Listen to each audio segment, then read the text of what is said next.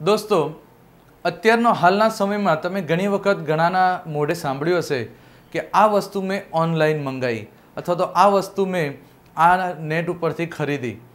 તો આના માટે જે અતિ મહત્ત્વનું છે એ છે ઈ કોમર્સ કોમ્પ્યુટર વિષયની અંદર નવો ટોપિક આપણે લઈ રહ્યા છીએ ઈ કોમર્સ જેનું પૂરું નામ થશે ઇલેક્ટ્રોનિક કોમર્સ.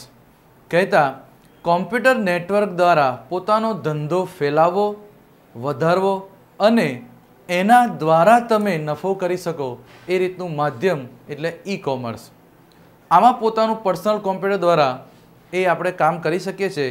આના ઉદાહરણ જોઈએ તો અત્યારે હાલ ઓનલાઈન બેન્કિંગ થઈ ગયું છે. ઓનલાઈન વીમા એના માટેનું પણ કાર્ય થઈ રહ્યું છે.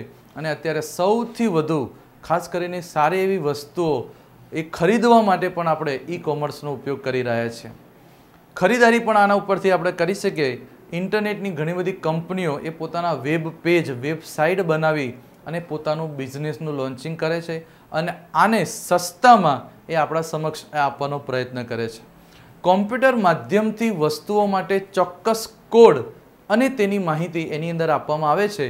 ઇલેક્ટ્રોનિક મેલ જે છે એ કોઈ પણ વ્યક્તિ દ્વારા એ મોકલાવેલો આવો જે મેસેજ હોય છે, જે બીજા વ્યક્તિને ડિજિટલ રૂમમાં પ્રાપ્ત થાય છે અને જેને દરેક વ્યક્તિ સુધી મોકલવાની આખી એક વ્યવસ્થા હોય છે કે જેના દ્વારા એ જે તે નાનામાં નાના વ્યક્તિને પણ તે માહિતી પ્રાપ્ત થાય.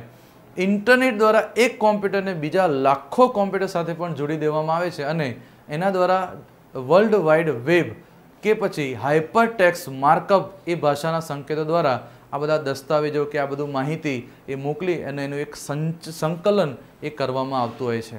બ્રાઉઝર નામથી જે ઓળખાતા સોફ્ટવેર જે છે, એના માધ્યમથી એ ગ્રાહક એ આની સંપૂર્ણ માહિતી એ પ્રાપ્ત કરી શકે છે. અત્યારે હાલ તમે જોતા હોય તો ફ્લિકર છે કે પછી સ્નેપડીલ છે કે આવી બધી જે બધી વેબસાઇટ છે, એ પોતાના કોમ્પ્યુટર ઉપર આ રીતના આખા એ એ માહિતી પોતાની આપી અને પોતાની પ્રોડક્ટની જે માહિતી છે એ લોકો સમક્ષ આપી અને એના દ્વારા એ બિઝનેસ કરે છે. તો આ ઇન્ટરનેટ દ્વારા માણસને માણસ સાથે સીધા જોડી અને કરાવતો જે બિઝનેસ છે, જેને આપણે ઈ કોમર્સ એવા નામથી ઓળખીએ છીએ.